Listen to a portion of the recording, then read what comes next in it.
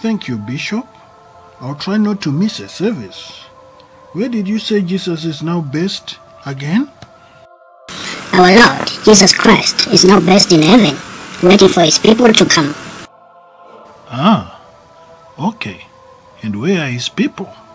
We are here on earth. We are his people, Doing what? waiting for Jesus to come back. You gotta be kidding me.